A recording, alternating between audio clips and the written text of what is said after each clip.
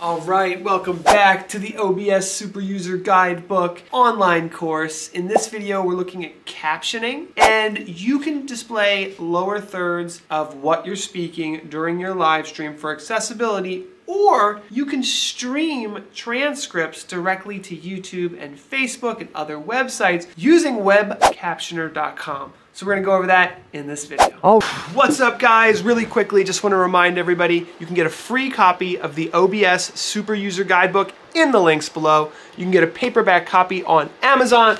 And if you like this video, hit the like button. If you'd like to learn more about video production, why don't you subscribe? Hit the red button. If we're doing something wrong, let us know in the comments below. Or if you have any questions, I'll be happy to reply. It makes a big deal if you guys subscribe. Only about 10% of our viewers do subscribe, and we'd love to have you on board. Video. All right, so Web Captioner is a free captioning tool that is super easy to use, and I'm going to show you how. We're just going to go to webcaptioner.com and we are going to click Start Captioning. And as soon as you do so, in the right hand side, you can see new WebSocket socket connection has been made. That's because I already have this all set up, but you will be able to do that by the end of this video. What happens is, is Web Captioner is able to take what you're saying from a audio source on your computer directly into Google Chrome. Chrome is the best, but other browsers work. And it can actually connect directly to OBS and send all of these transcripts with your live stream. And those live streams can then have the, the CC, the closed caption little icon, available on YouTube and Facebook, will start working during your live streams. And not only that, but you can when you stop captioning or you're done captioning, you can actually download the transcripts, keep them for your own purposes, maybe a blog post, maybe something was said, maybe you're you'd like to have a transcript of what the guest said for your website. Very powerful stuff. And there's some tips you can use to add live captions to OBS. So I'm going to walk you through it, but you can always refer to their integration options here. And they've got this great integration which requires OBS WebSocket. So I told you guys we were going to use WebSockets for a couple different plugins. This is one of them. You do need to install WebSockets on your Mac, Windows, or Linux computer, and that is available in OBS to connect to software like Web Captioner. So once you've installed Web Captioner, you get this WebSockets ser- server. And this server can be used to allow third party applications to control OBS. And in this case, Web Captioner is actually sending closed captions to OBS to use with their live streams. As soon as you're live streaming, it's just integrated in. So once Web Captioner is set up, you basically have a port number and you have a password. And I like to just use PASS, pass for my password. Boom. The port number is 444. The password is PASS. Click OK. Go over to Web Captioner. I'm already signed in. But if you go to your settings, one of the things you'll notice is there's a channels button. And I already have my OBS studio channel configured.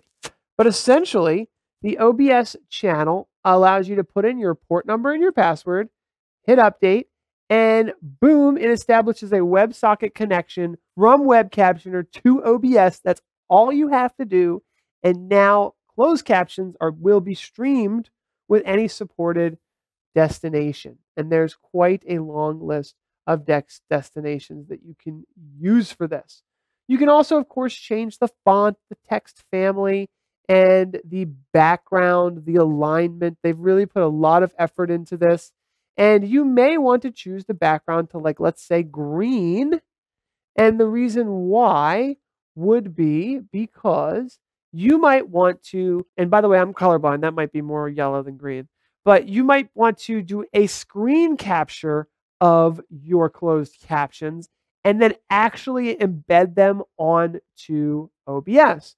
So you would go into OBS, you would open a window capture here. Where do we have our window capture? Window capture. We're going to choose Chrome there. We're going to go ahead and fit it in here. And then what we would do is we would just chroma key out the background and we would get live transcriptions on top of our video broadcast. But honestly, I don't think that is what most people honestly want. I think what most people want is to have the transcripts sent over their live stream directly to the content delivery network like YouTube or Facebook. That's the big value in my mind. But still, we can go to filters and we can crop off the pieces of this that we don't need. Go to the crop pad and we'll crop off most of the top. I'm going to choose like a thousand off the top. We really don't need much of the top. There we go. And the bottom, we'll take 200 off the bottom. Yeah, that's just about right. And now we'll add a color key to it. Boom. Wish I wasn't color. If I wasn't colorblind, this would look a lot better. But we're gonna go ahead and pretend. Boom. There we go. If I wasn't colorblind, I got the colors perfect. This would look a lot better. Obviously, um, you could tweak it to to look a lot better using this color keypad. It's really about choosing the right color, and then those will will show up on top of your live stream. So This is a great way to not only make your videos more accessible to a larger audience, but it's actually good for SEO. When you're live streaming, all the words that you're saying are created in a transcript file and made available to Facebook and YouTube, which they can then translate to other languages. So it's really powerful stuff. Plus, you may find yourself in a position where those who are hard of hearing would like to see lower third transcripts, maybe for a job that you're working on or other accessibility applications. So I hope this video was helpful. Let me know what you think about Web Captioner in the comments below.